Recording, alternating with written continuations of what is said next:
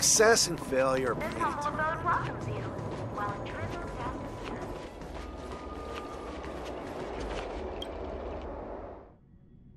prison, It's been a long journey, Elder Huaiyan. Thank you for your presence. Don't mention it. Thank you for taking the time to welcome me.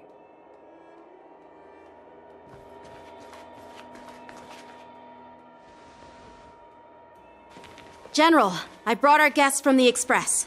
Uh, oh, I'm sorry for my bad timing. I didn't know you were meeting a guest, General. Don't worry, you're just in time. it's been a while, my friends from the Astral Express.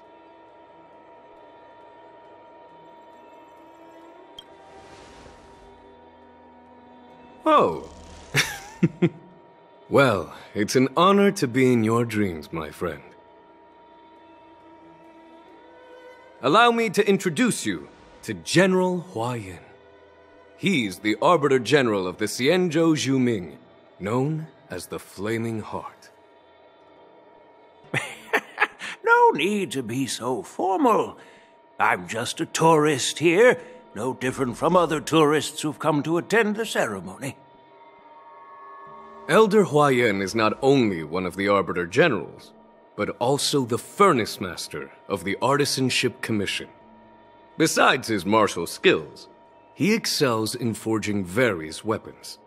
Such talents are unique, even among the Arbiter Generals. Be it Arbiter General or Furnace Master, these are merely titles given to me long ago.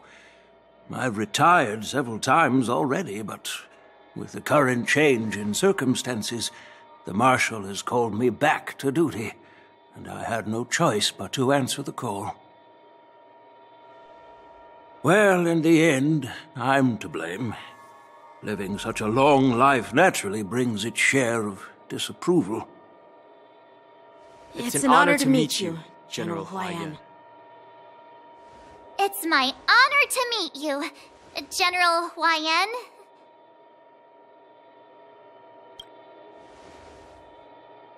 No need to be all formal. Today I'm just a guest on the Luofu the same as all of you. So, these three are the ones you mentioned, Jing Yuan? The heroes who helped you with the Ambrosial Arbor crisis?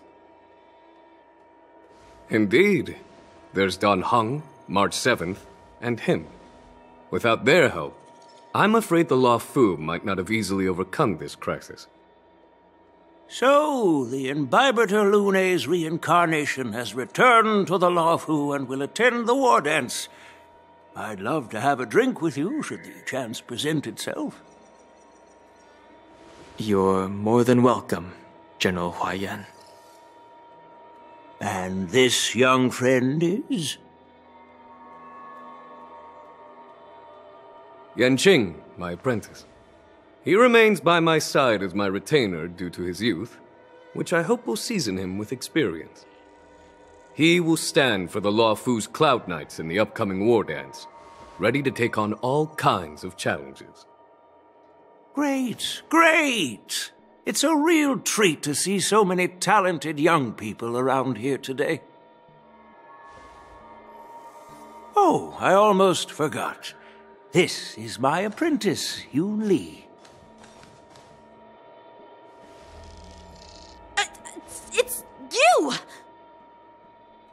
Oh, it's you. Hello. Oh, you two already know each other? Guess we don't need any introductions then. What a coincidence! I was afraid I'd have trouble finding this girl.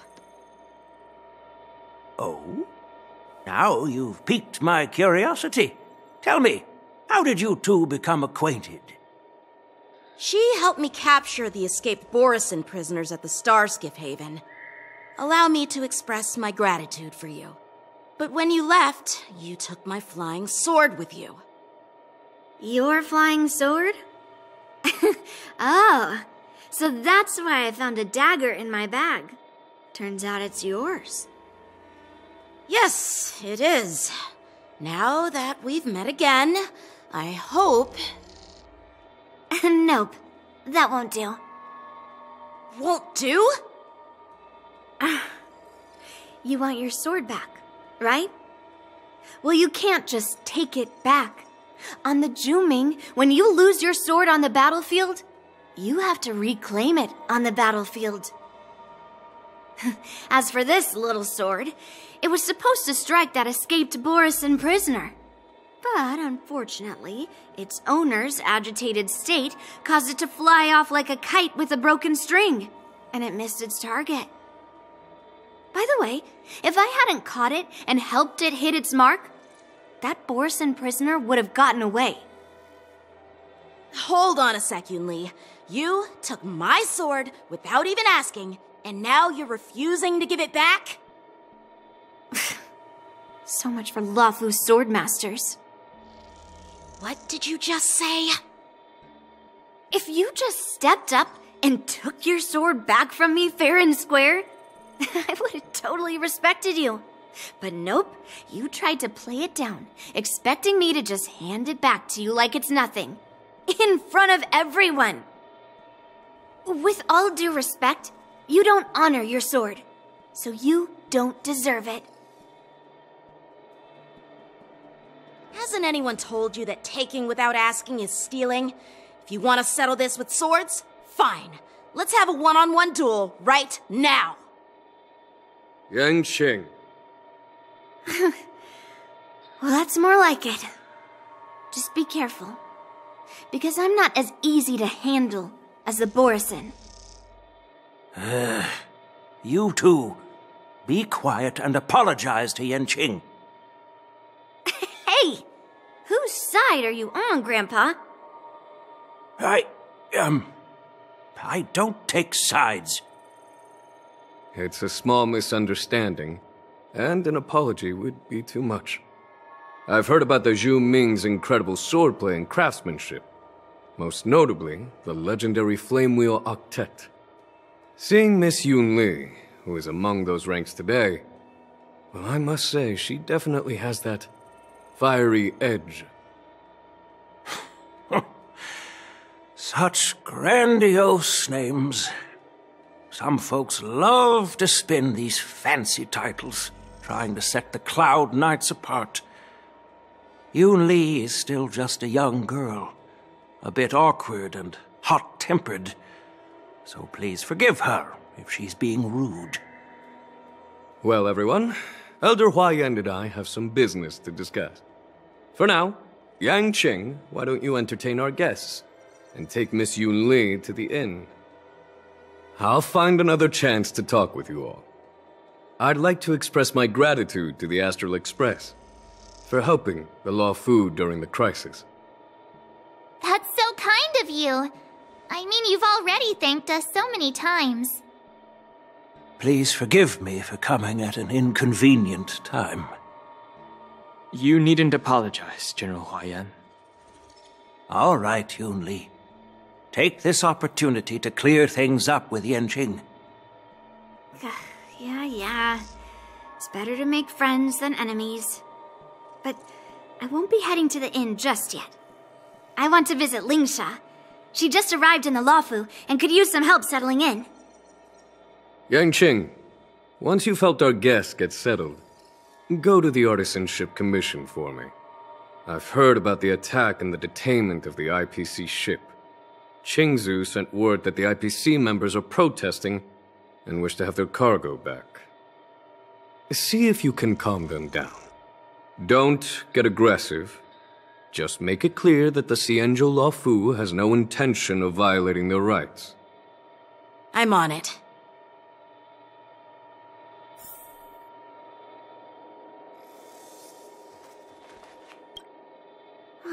This trip is totally worth it. Compared to the Zhuming, the Luofu is so much livelier. But it's a shame the Luofu swordmasters don't seem that great.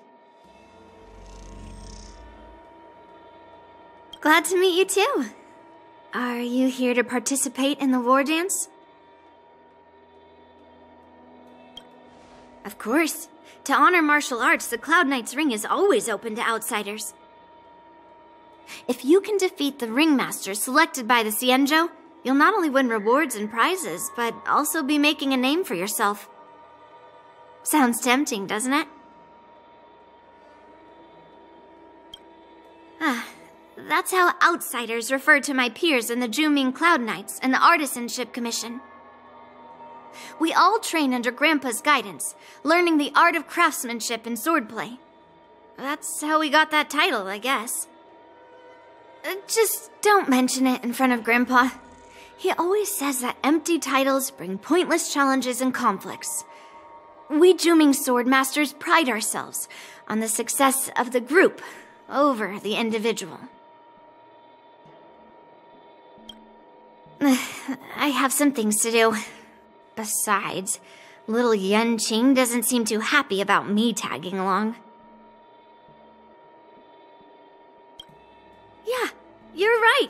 I took it with my skills. So I guess you can say I'm a robber or something. How dare he imply I'm a thief? Totally different.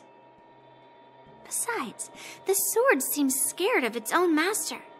I'd like to ask him. You claim to cherish your sword as your life, yet you don't even recognize the state it's in right now? I didn't intend to keep his sword. I was planning to take this chance to return it to him. But now, I've changed my mind. I'll give that poor flying sword some proper maintenance.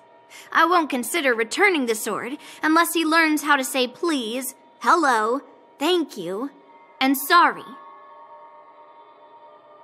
So he can forget about it for now.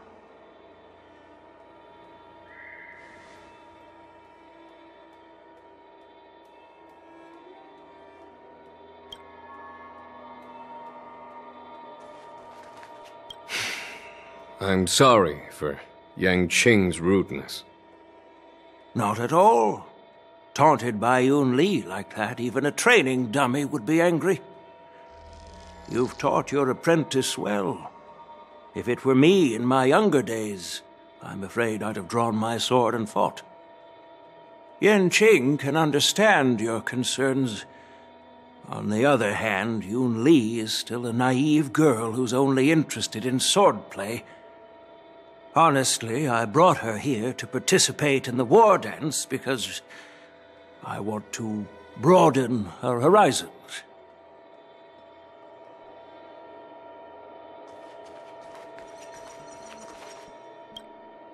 Hey, Dan Heng. I thought all the Xianzhou generals were like Jing Yuan. But that General Huaiyan, he looks so thin and scraggy, as if even a light breeze would knock him over. Is that old man really an Arbiter General? Well, each Xianzhou ship has its own division and specialty within the Alliance. Not all of the Arbiter Generals are good at leading the charge. You heard what Jing Yuan said, right? General Huaiyan was once the head of all the skilled craftsmen on the Zhuming.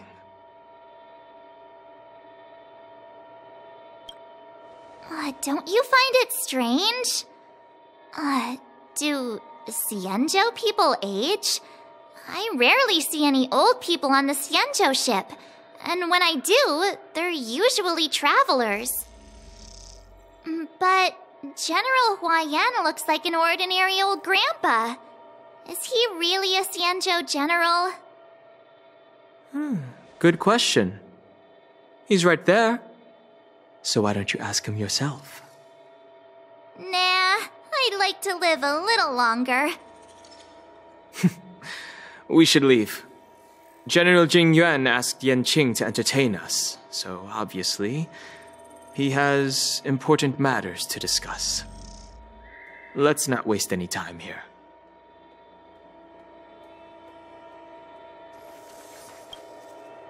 This is the report Qingzu just sent me. Let me take a look. Hmm. Huh. Looks like the General has given me a tough challenge. He wants me to try and help put the IPC's mind at ease. Well, it's not exactly a test. As Cloud Knight officers, we not only learn the art of war and martial arts, but also occasionally have to handle diplomatic disputes. It's just, you know, talking things out isn't as straightforward as duking it out with weapons on the battlefield. This is especially true when you're up against the IPC, with their non-stop corporate babble. well, let's not worry about that for now. Shall I take you to the inn?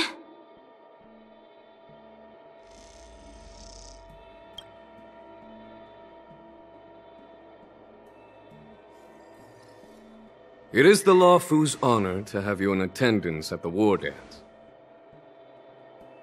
Yet, the fact that a simple martial arts ceremony has attracted esteemed generals from the Zhu Ming and the Yao Qing implies intentions beyond mere spectating.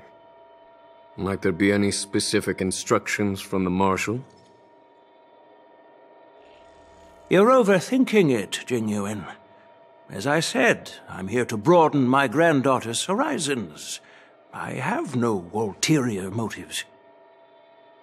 However, I have no clue what the Yaoqing Arbiter General has in mind. Do you remember when you accepted this position? I told you that an Arbiter General's battlefield goes beyond the physical one. You'll need to lead and manage everything on the Xianzhou. The title of Arbiter General holds a weight far greater than its literal meaning. So many years have passed, and you've done well. However, longevity for the Xianzhou people can be a curse. Living too long means that every mistake you made will lurk in the shadows. And one day, They'll eventually catch up to you. The Marshal knows everything that has happened on the Luofu. As for the Merlin's Claw of the Yaoqing, she has come specifically for you. Speaking of which, why hasn't she arrived yet? They say the Merlin's claw strikes like lightning. Being late isn't her style. That's not true, General Huaiyan.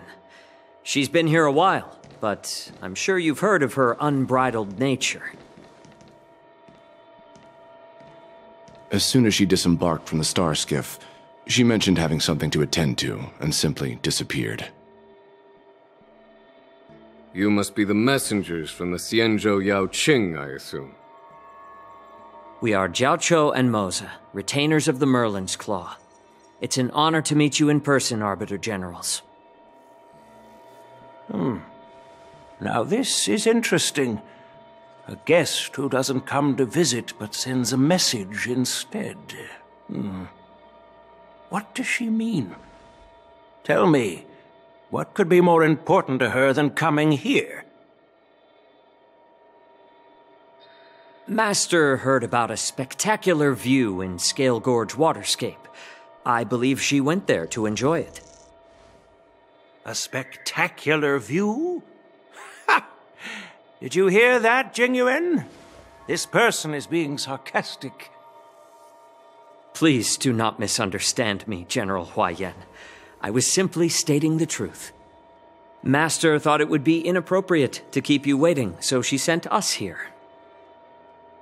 Once she's finished with admiring the scenery, she'll personally come and apologize to the both of you.